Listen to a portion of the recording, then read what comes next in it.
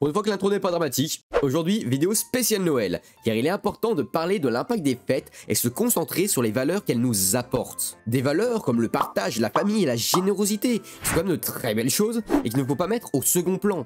Noël, avant les cadeaux, avant les repas de famille, c'est surtout de bons sentiments et un esprit de communion. Même si malheureusement, cet aspect a tendance à diminuer, car pour pas mal de gens, Noël égale cadeau. Et techniquement oui, je suis d'accord, mais ce n'est pas le tout de cette fête. Il ne faut pas seulement se concentrer sur l'aspect commercial. Les valeurs, c'est ça l'important.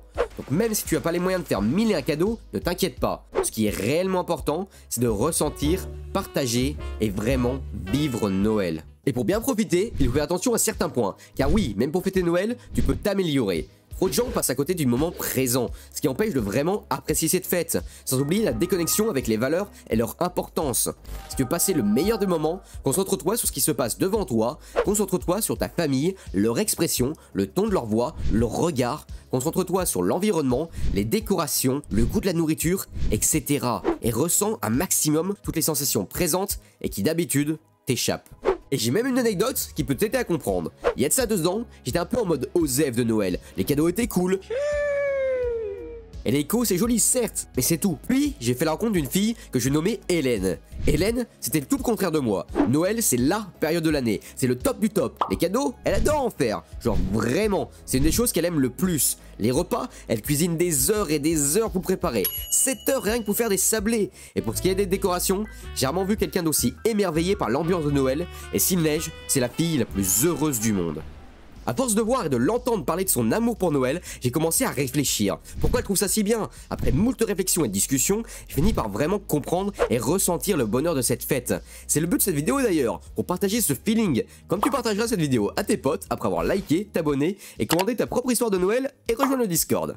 Après cet instant pub magnifiquement placé, il est temps d'inviter ses grands amis d'enfance que sont Patrick et Eric. Patrick est blindé, sa nouvelle promotion, bien méritée, le met très bien. Il veut la fêter en faisant la meilleure soirée de Noël qu'on ait jamais vue. Repas traiteur, décorateur professionnel et cadeaux à foison. Pour Eric, c'est déjà plus compliqué. Il a acheté son appart il y a pas longtemps, donc il n'est pas dans la meilleure des situations financières. Il a fait plein d'heures sup afin de dégager de l'argent pour les fêtes et offrir un beau moment à sa famille.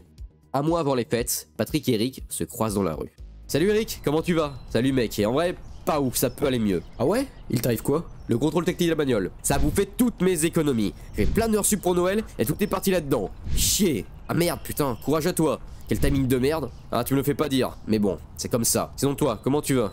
Oh, je vais bien, je vais bien. Les fêtes approchent et j'ai vraiment hâte. Mais je vais pas en parler plus que ça, vu la situation. Ah, t'inquiète pas pour moi. Au contraire, si t'es heureux, ça me fait plaisir. Donc vas-y, explique-moi tout, je veux les détails. Ok, ok, si tu insistes. Eh bien, tu sais, j'ai eu ma promotion récemment. Bah oui, je m'en souviens. Tu m'as spam de messages pendant 20 minutes tellement tu étais heureux. Eh bien, pour la fêter, je vais faire un truc de fou. J'ai commandé traiteur, les décorations sont faites par des pros et je n'ai jamais vu autant de cadeaux de ma vie. Ça va être incroyable. Ah oui, monsieur a mis le budget. Content pour toi, mec. Profite bien ton Noël et t'inquiète pas pour moi.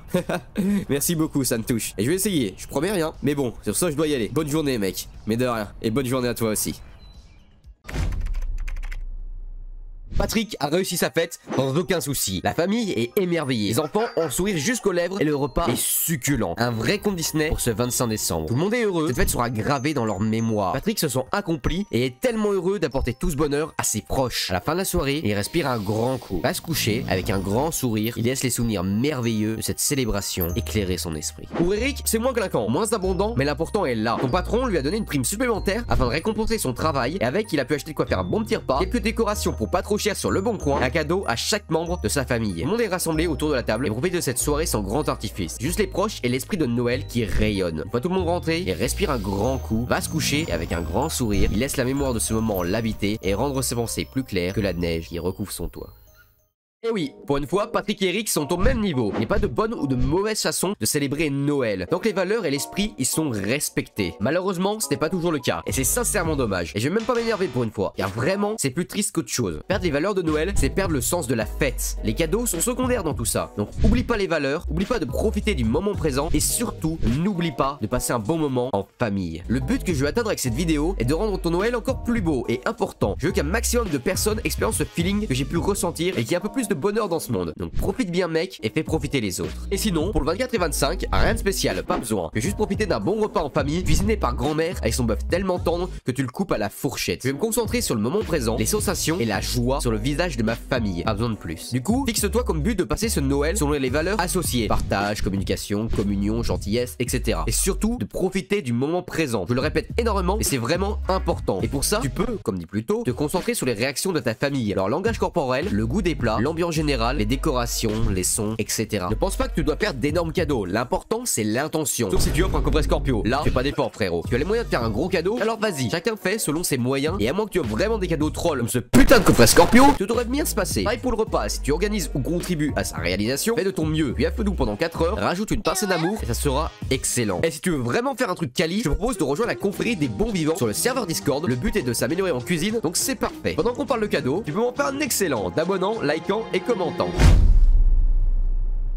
Après deux ans loin du pays, un jeune soldat a enfin la permission de revenir à la maison. Il en ça depuis si longtemps, on ne voulait plus de ne plus revoir sa famille, qui pour lui est la chose la plus importante de cette planète. Au moment du retour, il ne tient pas en place, même la discipline militaire ne le calme pas. Il est aussi excité qu'un gosse qui ouvre ses cadeaux en dessous du sapin. Et ça se comprend, ils vont enfin pouvoir fêter Noël tous ensemble. Deux jours plus tard, il arrive enfin à l'aéroport. Et quand il les voit, il est tellement heureux, on dirait qu'on a collé un sourire sur son visage. Après cette magnifique réunion, la petite famille se balade en ville. Il est émerveillé par les petits plaisirs et les décorations de Noël, c'était la première fois qu'ils avaient vu. Les jours de bonheur passent et enfin l'apothéose, le 25. Tout le monde réuni autour de la table, heureux d'être enfin tous ensemble. La soirée peut commencer. Les rires réjouissent son cœur, bien plus encore que l'excellent repas qu'a préparé sa mère. Les yeux pétillent à la lumière du sapin et les cadeaux sont échangés. Tout le monde est heureux, ils vivent tous le moment présent et notre jeune soldat te jure de ne plus louper un seul Noël. Je sais, c'est beau putain. Et tu sais quoi? Tu peux être aussi reculé et pas besoin de Fais juste les conseils et profite des fêtes. Et sur ce, je vais finir cette vidéo remplie de bons sentiments et de l'esprit de Noël en te disant que l'important ce n'est pas l'aspect matériel de la fête, malgré que bien sûr ça contribue au bonheur, mais c'est pas primordial. Ce qui compte c'est une fois de plus vivre et ressentir les valeurs de cette célébration et redonner un aspect non matérialiste au bonheur et à la grandeur de Noël. J'ai plus qu'une chose à dire, joyeux Noël.